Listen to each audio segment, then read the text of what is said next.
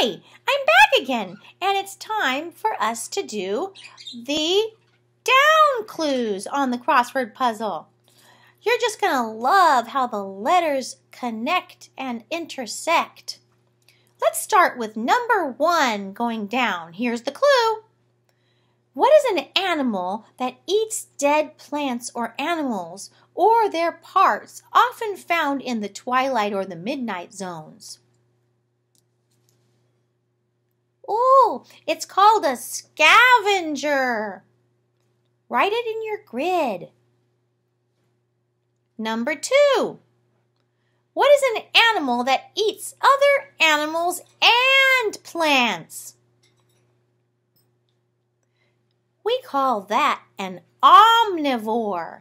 Can you say that? Omnivore. Good job. Write it in your grid. Here's one. When we were studying insects, th- those creatures had no backbone, and we call those guys invertebrates. What do you call an animal that has a backbone? Hmm?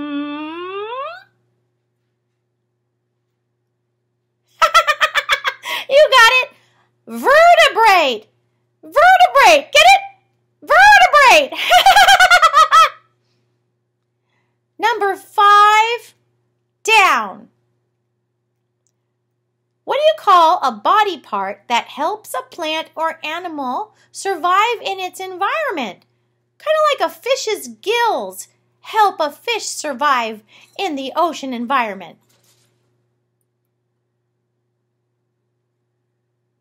Here's the answer adaptation. Say adaptation. Good job. Now write it in your grid. We're already at number eight going down. What is the use of echoes to navigate or locate prey? Whales use this. Think about it. Echolocation. That's right, echolocation. You are so brilliant. Now we're on 11 down. What do we call it when an animal no longer exists? Hmm. Think about it. Raise your hand if you think you know. That's right. It's called extinct. And finally, number 13 down. What is a respiratory adaptation fish have where blood vessels absorb oxygen from the water and release carbon dioxide into the water? Here's a clue. I mentioned it on another clue. Number five, down.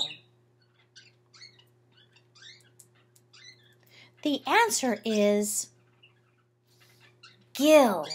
Fish have two gills.